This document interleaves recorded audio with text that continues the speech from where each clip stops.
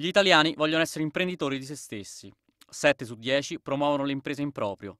Un dato fornito dal rapporto 2013 di Amway, azienda leader mondiale nel settore della vendita diretta, in calo rispetto al 2012, come diretta conseguenza della crisi, ma in linea con la media europea. I dati che abbiamo riscontrato sono estremamente positivi perché comunque il 69% degli italiani, quasi 7 su 10, sono favorevoli all'autoimprenditorialità e molto più interessante eh, il 41% si vede capace di intraprendere. Questo è il dato che veramente ci fa sperare molto bene. Sono i giovani sotto i 30 anni quelli che hanno un atteggiamento particolarmente positivo, sono il 78%.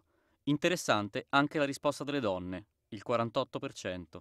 Sono risultati di giovani soprattutto, ma anche di italiani in genere, che si collocano sulla media europea per quanto riguarda la propensione a intraprendere. La quale propensione riguarda due cose, riguarda la disponibilità a mettersi in gioco e anche la capacità di capire come farlo e di farlo nel settore giusto. Nota dolente resta il contesto.